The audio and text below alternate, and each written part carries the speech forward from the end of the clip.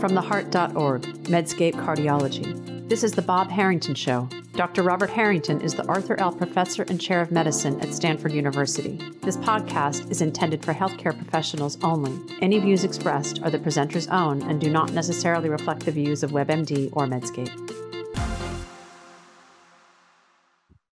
Hi, this is Bob Harrington from Stanford University here on Medscape Cardiology and theheart.org.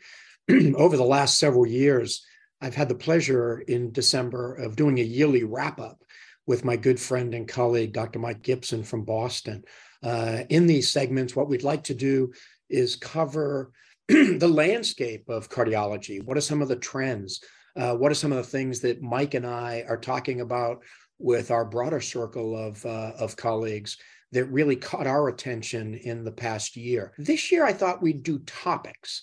And the topics will run the gamut from what I'll call high level policy issues to some specific clinical trial observations. And Mike and I will, uh, in our usual way, go back and forth.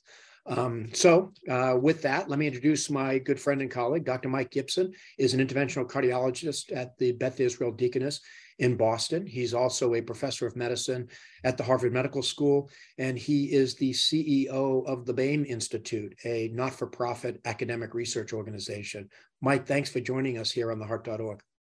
Must be December. You and I are back at it. Must be December. The Bob and Mike show goes again. Um, Mike, let's let's go sort of what I'll call big, broad topics, and then maybe filter down. And the first one I want to talk about in 2022 live meetings. They're back. We went to ACC, we went to ESC, we went to AHA, and then there was a lot of, you know, smaller meetings in between. You cover a lot of the meetings from a news perspective. Give me your observations. Well, we're back and it's great. I think the societies had done a great, great job of this whole virtual thing. I mean, it was amazing. People around the world could get on, watch what was going on, and participate in some kind of way where they could get the information. They got the data, but meetings are about more than data. They're about relationships. We practice evidence based medicine, but we also practice relationship based medicine.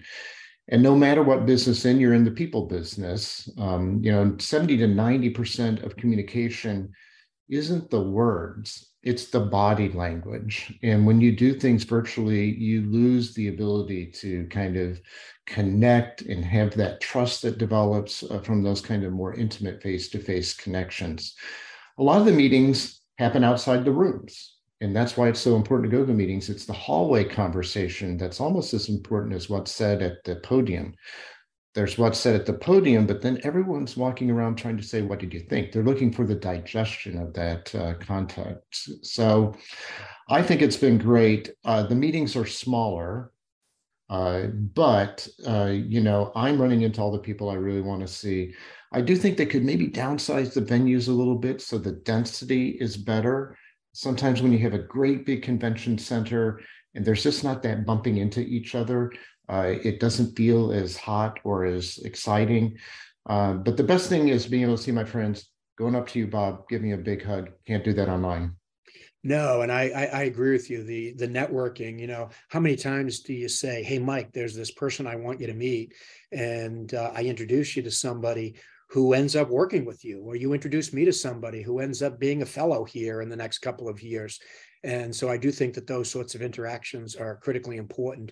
And then, as you and I always talk about, there's the late at night, hey, I got this idea conversation uh, where literally in the morning over a cup of coffee, in the evening over a beer, you can sketch out, you know, this is a grant we want to put in together. This is a, a proposal we want to pitch to somebody. Those things only take place in a uh, in that sort of intimacy. At the same time, wow, to be able to share the education with people for whatever reason, either don't want to or can't go to a live meeting, they can still get the education. And I agree with you, the societies and the other organizations have done a great job. One thing, Mike, I, I want to comment on because you just finished, by the way, a, a very, very large clinical trial that enrolled a lot of its patients during COVID. I mean, one of the things that amazed me at the three big meetings in cardiology, ACC, ESC, AHA, the late breaking clinical trials didn't stop. I mean, work was still getting done. You want to comment a little bit? Yeah, it's dumbfounding. I mean, we got through COVID, we got through uh, some unrest and war. Uh, you know, amazingly, the people in Ukraine are better able to follow their patients up than some of the US investigators. But it is a testament to, I think, the dedication to people around the world to continue to get the job done. On the other hand, Bob, I have to say, we are going to have the walking wounded after all this. I think a lot of sites closed down uh, they made it through some of these trials, but then they closed down. Uh, so we're going to have to go through a rebuilding phase. It's really a testament to everyone we work with that they got the job done. Yeah, no, well said. And I do think a lot of sites did suffer, and uh, research nurses moved off to clinical domain because there was a need at their institution um, or they just you know were exhausted trying to do everything they were doing. And I do agree with you. I think there's going to be a rebooting of uh, of research, not just in the United States but around the globe, uh, to see if we can continue to do this uh, better. And I do agree with you. I mean, the cardiovascular research community is amazing uh, with their dedication to really wanting to answer questions. Well, they flipped over to doing COVID trials too. That brings me to my next one, which is COVID. Um, you know, we're certainly not done with the pandemic. The vaccines have made a big difference. The antivirals, the monoclonal antibodies have made a big difference. Um, but you know, we lost a lot of people in the United States, and uh, we're not done yet. I mean, there's still people dying every day. Our own hospital still has, uh, you know, a, a number of COVID patients in the hospital this morning. I suspect yours is the same.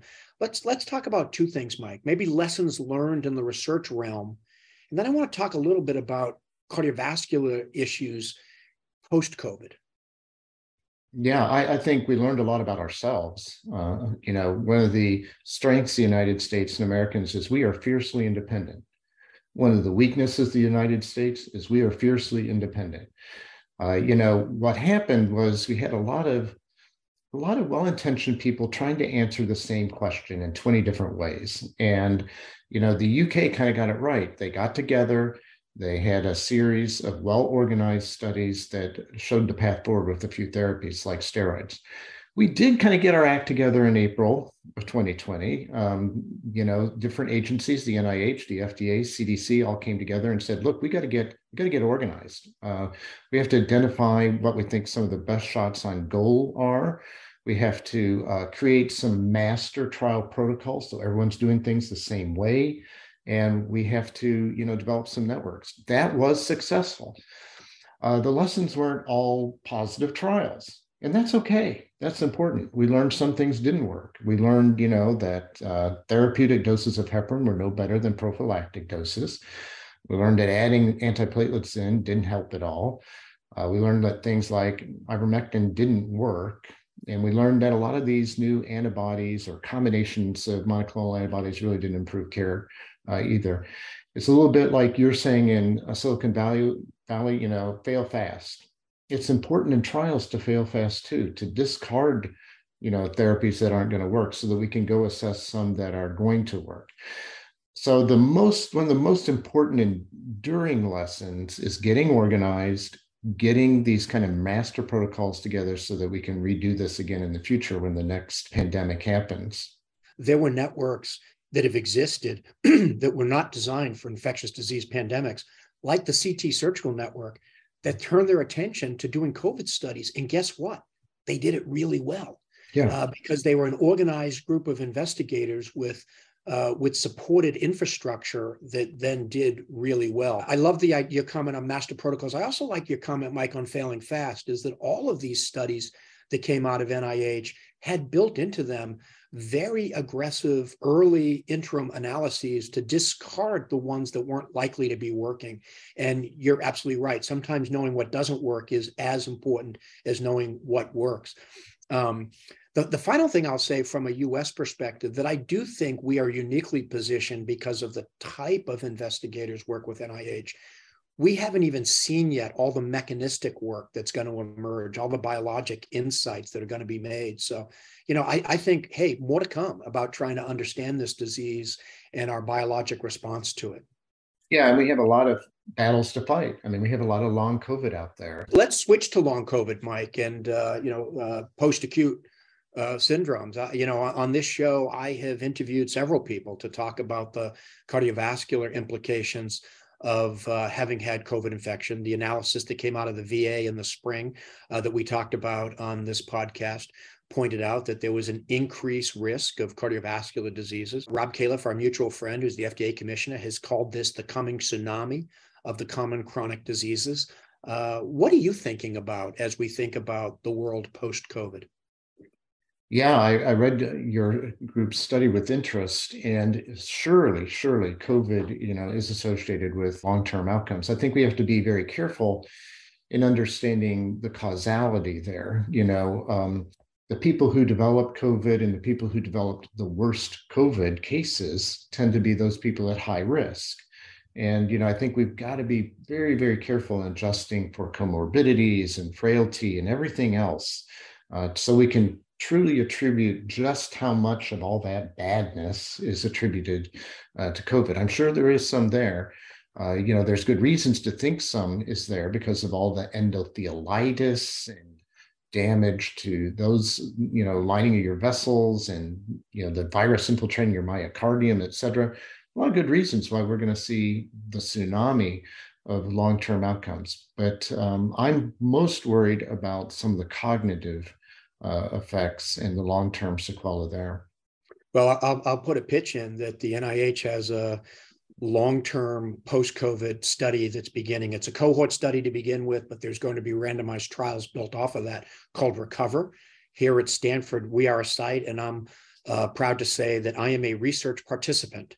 Uh, that I have signed up and uh, have had my first visit uh, post-COVID to um, to participate in the collection of information about what does happen to us over the course of uh, the years ahead. So I'm a longtime researcher, as you know, and uh, I'm a research participant. So, you know, to my colleagues out there, please do look up Recover and see if uh, if you can refer colleagues, friends, family, or yourself. I was a member of the HEROES study. So, yes, it's important to not just be a researcher, but to be a patient and to you know see what patients go through and what it's like to do all these surveys and stuff.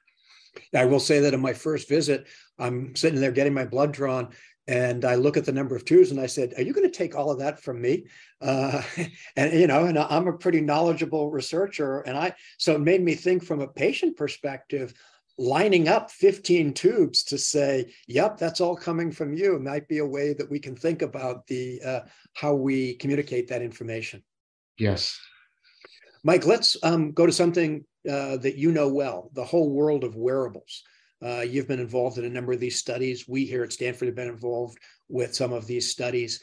Um, boy, COVID was another time where telemedicine, wearable information, uh, monitoring at home all helped us really accelerate. Do you remain bullish on the use of wearables and other digital devices for collection of information uh, in the years ahead? I do re- remain bullish. Um, you know, I think we're going to learn a lot. As you say, we have terabytes of information about each of these patients in some of our trials. When you put it all together, we then have petabytes uh, of information that you can't say, here, take the database. You can't transfer the database. It, it has to live uh, in the cloud. And it's fascinating to talk about, you know, how you analyze the data, who has access to the data. So lots coming down the pike. You know, when you monitor someone 24 hours a day, you're going to find things, but how much abnormal signal constitutes disease? You know, how much AFib do you have to have to say you really have AFib? Uh, and, you know, particularly when it comes to deciding if someone needs a therapy that has some risk, like bleeding. So we have a lot to learn, uh, you know, in terms of of how much disease warrants treatment. That's going to be the next frontier. We also don't want to create the worried well. We don't want to medicalize, you know, every extra skipped heartbeat.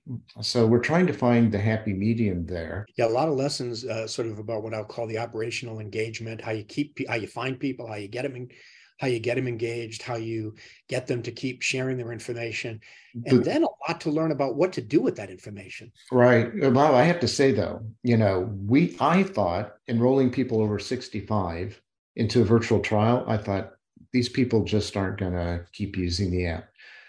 They're use continue to use the app 80 to 90% of the time. Months later, you know, now maybe they didn't have anything to do at home, except, you know, except use the app during COVID But what we are finding, the positive news is that they're remaining engaged, which we are very surprised by. And the studies we've done here, you, you're, you're finding it's not just, as you say, the worried well, it's people with a history of coronary disease, with a history of hypertension, with a history of ischemic heart disease uh, that are signing up and that want to learn about their health and what might we learn from you know these devices that we're all wearing? Mike that brings me to the next question and again you've been doing this in your research group. You're talking about this huge amount of data and what interests me is that it's also very disparate types of data. It's EHR data, it's actual images, it's wearable physiologic signals, it's environmental data. Some of the new tools, which are really old tools, but now being able to be applied because of things like the cloud, um, artificial intelligence, machine learning, neural networks. You can't pick up a journal right now and not see a paper where somebody has used one of these computational methods to, uh, to, to gain some insights into a topic. Now, some of that, as you and I know, is uh, well, did you really need it for that? Uh, but some of it is really pretty clever, pretty creative. Yeah, my favorite in that regard is the Mayo Clinic algorithm that can look at the EKG and determine if you're a man or a woman. You know, I'm not sure we needed AI for that, but you know, one of the things we published last, last year, bringing together wearables with AI, for as an example, a single lead, using a single lead, um, being able to diagnose a STEMI, you know, that's kind of really cool, you know, 24 hour day monitoring uh, without a, you know, a trigger and you can detect a heart attack. That's kind of cool. Um, on the other hand, you know, we have to be careful. It's a black box uh, and it's often overtrained on the training data set. Last week, we learned that something derived from all men in the VA system, well, it doesn't do that well when it comes to women. Uh, so we have got to make sure that the training will fit the general population. One of my favorite examples, though, in the imaging world is, you know, an algorithm that detected your prognosis or, you know, determined your prognosis based upon the melanoma image. When you look in the black box, it was just detecting a ruler. If you had a ruler there, your prognosis was very poor. Of course, the ruler meant it was bigger. It wasn't anything to do with the serpiginous border. We've got to make sure we're looking at the black box. I think there's a lot of hope there. I'm not sure it's as good as the hype that's out there. I I do think the progress is mostly being made in imaging, which is great. I don't think the imaging will replace people. I think it will supplement our human readers. And I have done research over on the decision making side yeah, AI machine learning is a little bit better than logistic regression, but it doesn't really hit it out of the park. Um, and we've got to be cognizant of that. And what we're working right now is on the fact that rather than predict a year down the road what's going to happen, but it's a little bit like the weather. I think we're going to do better with iterative looks. Well, you know, you haven't bled after three months. You're a different patient now. You declared yourself a non bleeder on your bleeding stress test let's now look forward to iterate and make that prediction again. So I think you're going to see an evolution in how we use these tools and more of an iterative approach uh, as well. But I, I, think the future is exciting. Yeah, and I, I agree with you around the, some of the early wins, if we will, are in imaging. I mean, there's been a couple of things that have caught my attention. Uh, one is from your colleague uh, in Boston, Calum MacRae, who has done some really interesting work, work working with Shinichi Goto, uh, a fellow who's come from Japan. Uh, you and I know his dad quite well as a clinical trialist.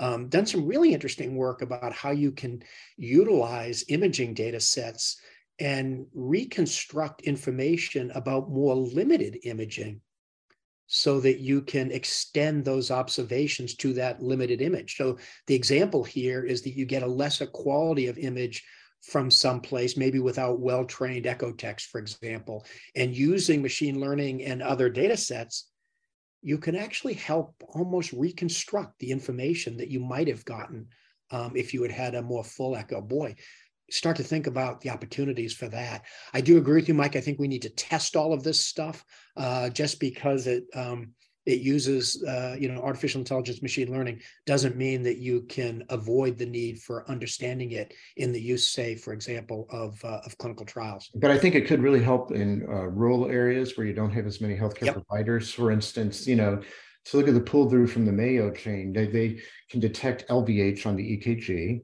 AI does. Then that's a trigger for, hey, you need an echo. And then, you know, you have a little echo probe that the nurse can use that says turn to the left, up, down, and then it interprets it using AI. Yeah. And I loved how you said it. One of our radiologists here, I always paraphrase when he's asked, uh, will AI replace radiologists? And we could say replace cardiologists. His answer is no, but radiologists slash cardiologists who use AI will replace those who don't. Correct. Yeah. Mike, let's now move to randomized clinical trials coming from China, not as a, you know, a participant in much larger trials, but the entire trial, some very large trials, some very good ones. I mean, there was a terrific one that Greg Stone presented on bivalirudin, uh, which looked to be, at least from the presentation, exceedingly well done. And then there was one that uh, my colleague Ken Mahaffey gave the commentary on, which was a, a dietary supplement as an adjunct to ST elevation MI. Forget the, t- the topics that they studied, Mike. Just comment broadly as a trialist. Wow, if, if, if China can really do some of these studies with their organized workforce and their population, they can make major contributions to the rest of the globe. Absolutely. You know, in anticipation of our call today, I got on clinicaltrials.gov. I typed in STEMI and I typed in the search term of China. Out of the 740 STEMI studies that are ongoing worldwide right now, 120 are being done in China. How many do you think are being done in the US? Less than 100 78 yeah. So you know they are really getting the act together like we said earlier right? Getting organized. Yeah. Uh, you know matt herper on uh, stat said you know the single biggest risk in upcoming biomedical development isn't you know having new technologies. It's getting organized and doing randomized trials to assess the technologies. This is an issue of execution. And um, if they're able to execute, which it looks like they can, they can do great things. The other thing they're doing is, you know, they're taking a lot of shots on goal. They're assessing things that we would have discarded in the US, alternate therapies that uh, we may have discounted. Uh, so I've always been worried that we're spending $1.2 billion to assess drugs. What if we could do it much more quickly uh, and, uh, you know, assess many more targets? Uh, that would be a better way of for the ecosystem to find new therapies. Mike, as always, this has been a, uh, a really fun discussion. My guest today has been my good friend and colleague, Mike Gibson from Boston, interventional cardiology professor at Harvard, and the CEO of the Baim Institute, a not for profit um, academic research organization. Mike, thanks for joining me on Medscape Cardiology.